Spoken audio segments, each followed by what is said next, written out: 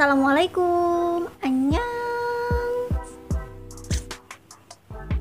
Di video kali ini aku mau sharing-sharing about skincare Seperti biasa. Aku akan share updatean morning skincare rutin aku. Nanti aku akan bikin versi night skincare-nya juga. Sekarang kita bikin morningnya dulu Karena ini masih pagi. Biasanya aku skincarean sebelum jam 12 siang dan buat kalian yang belum tahu jenis kulit aku itu oily acne prone. Tapi sekarang kebetulan banget ya muka aku lagi bersih alhamdulillah.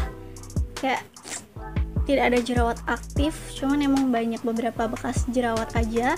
Dan kulit aku itu gampang banget merah-merah gampang kemerahan gitu ya.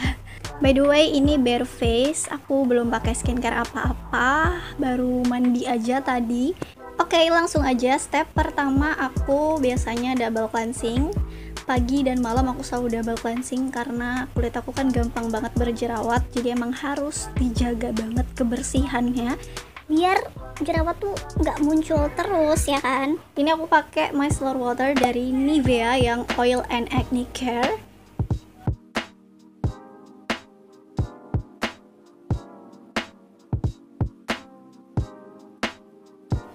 Ini cocok untuk kulit oily dan kombinasi. Dia mengandung magnolia bark extract yang bisa bantu ngontrol minyak. Cocok untuk sensitive skin juga karena no alkohol dan no perfume.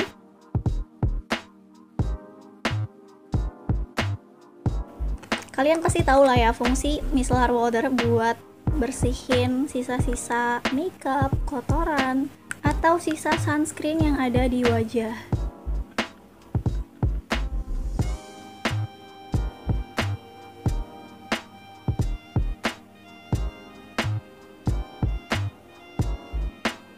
By the way ini lip tintnya nggak aku hapus ya karena biar tidak terlihat pucat di kamera.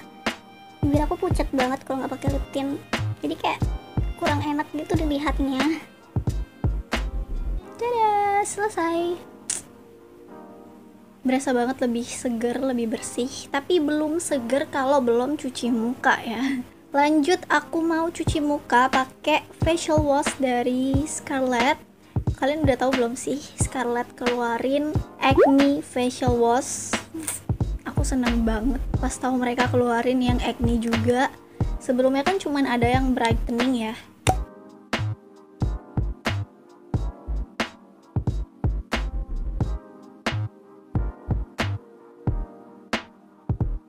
Ingredientsnya bagus-bagus, ada seaweed extract, mugwort, vitamin C, tea tree, lemon water, centella asiatica, jeju aloe vera, dan beberapa kandungan lain juga. Pastinya bisa membersihkan kulit kita sampai ke pori-pori, apalagi dia tuh ada cleansing beadsnya, kayak bintik-bintik warna ungu ini. Ini bukan scrub ya jadi dia pas dipakai tuh bakal hancur gitu loh dan dia juga yang bisa bantu memaksimalkan supaya facial washnya tuh lebih ngebersihin lagi gitu lebih deep cleanse ya kan terus ada rose petalsnya juga yang warna ungu ini cantik banget teksturnya gel dia wangi lemon dan citrus yang seger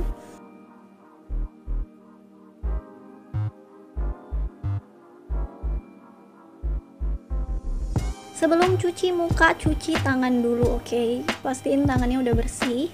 Basahin dulu mukanya. Ambil facial washnya.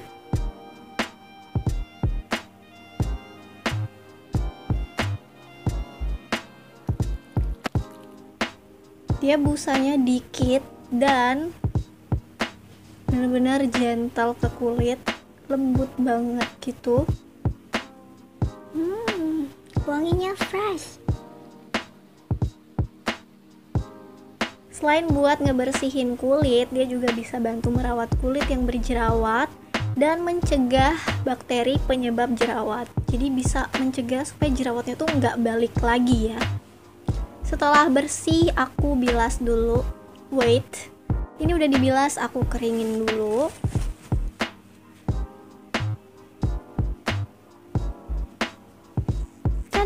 ini after bilas kelihatan gak sih lebih cerah tadi kayak kusam berminyak sekarang lebih cerah. Jadi dia tuh juga nggak bikin kulit jadi kering kayak masih glowing lembab gitu. Ini kayaknya kalau udah habis aku bakal repurchase lagi sih. Suka banget. Nah setelah cuci muka baru seger banget ya rasanya. Kulit tuh kayak terlahir kembali. Dan sekarang step selanjutnya aku mau pakai toner ini tuh essence toner dari Scarlett juga. Ini aku suka banget. Kayaknya ini udah botol kedua aku deh. Oh ya by the way dia ini mengandung zinc, T3, mugwort, squalane, vitamin C, green tea dan beberapa kandungan lainnya yang bagus untuk mengatasi masalah jerawat, beruntusan dan bisa untuk mengontrol sebum juga. Dia bentuknya pump, teksturnya cair kayak air, terus ada bolo-bolonya gitu.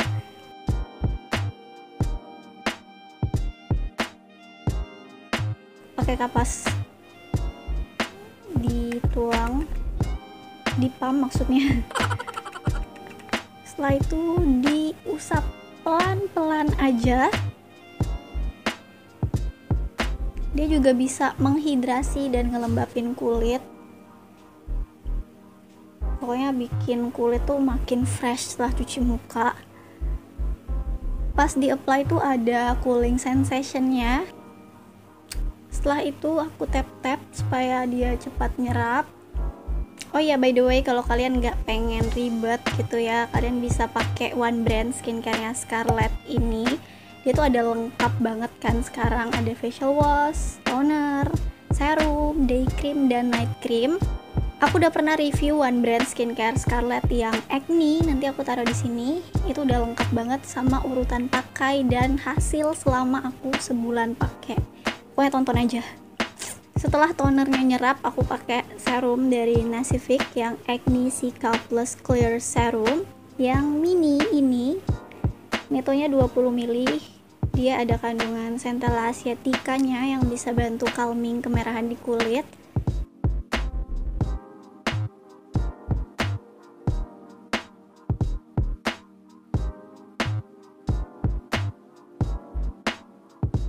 jangan lupa pastiin tangannya udah bersih. Aku biasa pakai dua tetes. Satu tetes aja cukup sih sebenarnya.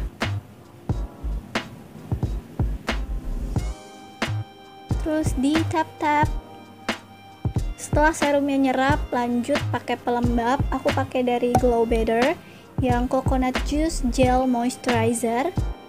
Packagingnya di pump kayak gini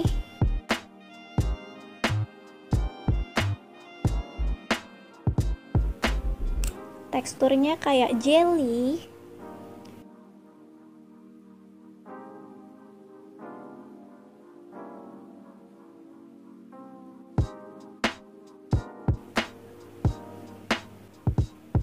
Tuh kayak jelly jelly gitu teksturnya. Hmm.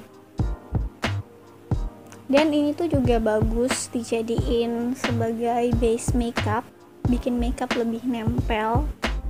Setelah meresap sempurna step terakhir pakai sunscreen. Aku pakai sunscreennya Skin Aqua yang UV Whitening Milk. SPF 50 PA++++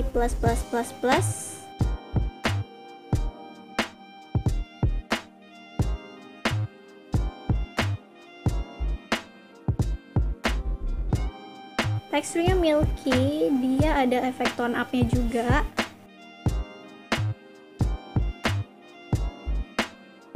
tapi efek tone up-nya tuh bagus menurut aku karena dia nggak bikin kulit kita jadi abu-abu gitu loh. Sebelum pakai di shake dulu.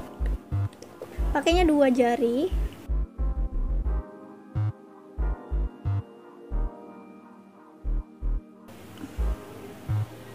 Aku biasa pakainya sedikit demi sedikit udah selesai. Dia ini cocok untuk semua jenis kulit. Kalau nggak salah termasuk hybrid sunscreen. Jadi gabungan antara chemical dan physical sunscreen karena ada efek tone jadi bikin kulit kita kelihatan lebih cerah dan nggak berasa greasy juga di kulit aku yang berminyak. Finishnya emang glowing kayak gini tapi nggak berminyak. Tuh. Oke, udah selesai. Jadi itu dia step by step morning skincare rutin aku. Oh ya, kalian tuh pada banyak banget yang suka nanya, habis skincarean boleh nggak sih langsung pakai bedak? Boleh banget. Aku juga biasanya habis pakai sunscreen gini, tunggu sampai dia nyerap dulu, habis itu baru pakai loose powder gitu. Sepertinya segitu dulu video kali ini. Nanti aku akan bikin versi night skincare rutinnya juga. Jangan lupa di like yang banyak kalau suka dan share ke teman-teman kalian. Bye bye.